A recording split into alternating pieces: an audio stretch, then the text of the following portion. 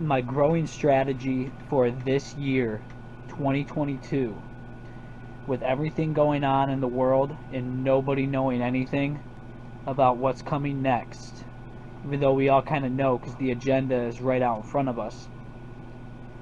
What I'm doing is focusing on bulk storage crops, so potatoes and winter squash and bush beans is another big focus because you can get multiple rotations and they come up quick and thick. So you're gonna have a ton of them and I want to have a lot of some of the main staples. So that's gonna be the a bulk of everything I plant is like those three crops in particular. And then from there I'm gonna focus on fruits. Other things and everything that I can think of and everything that I want out there and to see the genetic diversity and all that I'm still going to be planting just not nearly as much just smaller little sections of other things but the bulk of it potatoes winter squash to overwinter to get through what looks like could be a great depression for like indefinitely here coming up so the idea is to shift in the way that I'm just living the lifestyle, growing bulk amounts, and doing that going forward. I'll have hopefully enough for family and close people in rough times, but also at some point even have enough to sell because, well, we can all see that food is going to be the number one cash crop on the planet. And really kind of is right now. And your own healthy food never hurts too. So that's another plus in it all.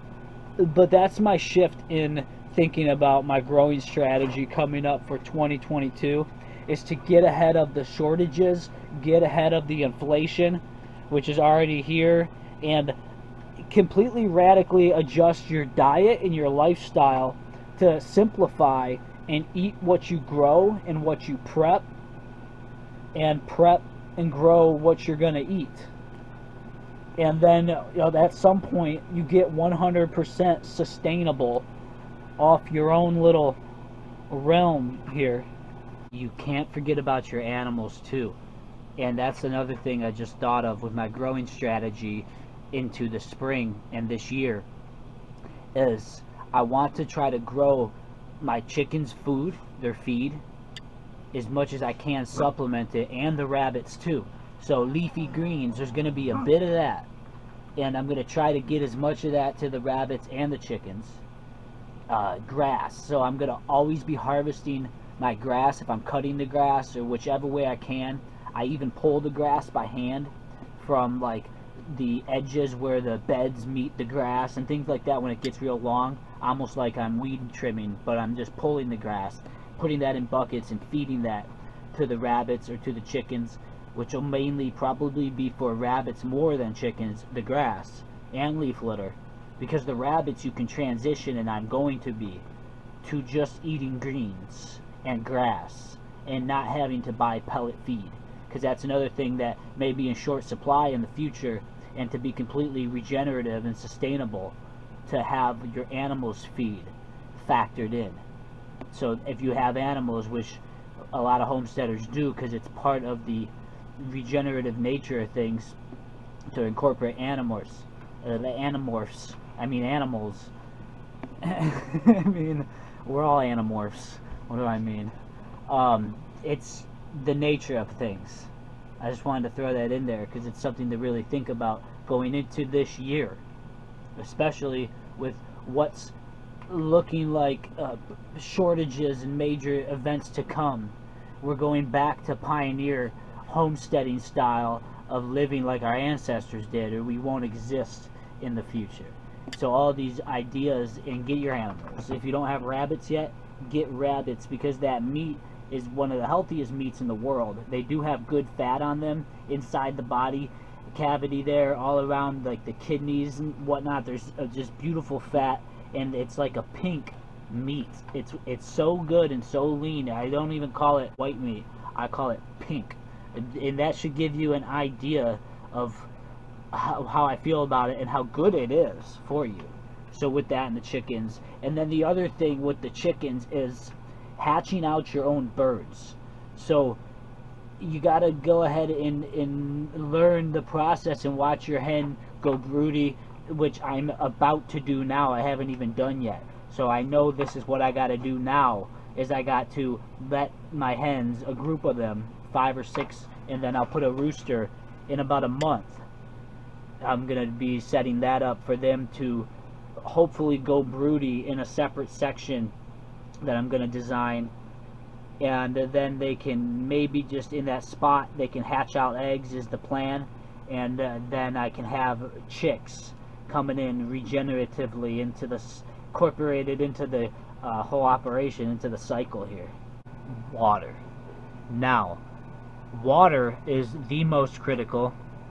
It is often overlooked when talking about prepping and storing up things and prepping for maybe a grid down. So it often is get food, get your survival food, but but not so much emphasis on the water.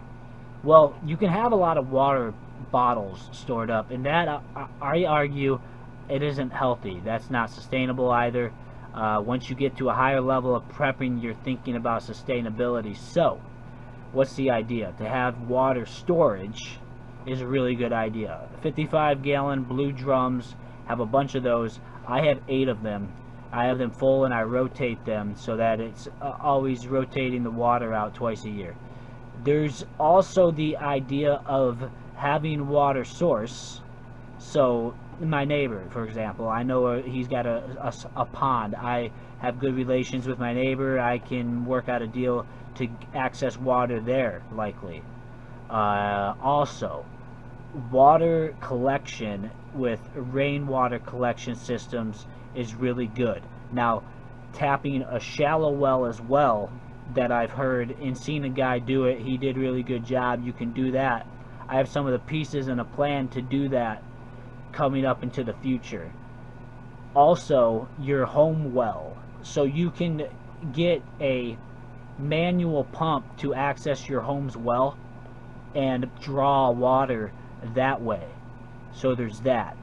Um, gray water collection. So when you rinse things, you can always save that water and run it through some kind of screen to screen out maybe larger things and then run it through your Berkeys. And having the Berkey water elements, the ceramic type that filter your water, that's how you're going to want to really filter your water and you're going to want to have a ton of those on deck prepped up.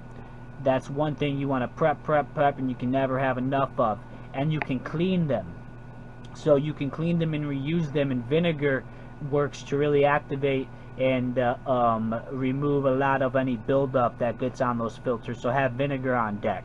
You can clean up your filters and you can use your filters the Berkey types. There's also the ProPur and Berkey has a fluoride filter attachment that will get the arsenic too that doubles up on filtration power that to really clean the water.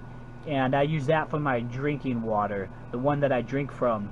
I have a bunch of Berkey systems and I use them for my animals and for me so we all have clean water you can collect water doing things like using five gallon buckets or bins that you may have that are you know extra laying around and you just got extra stuff.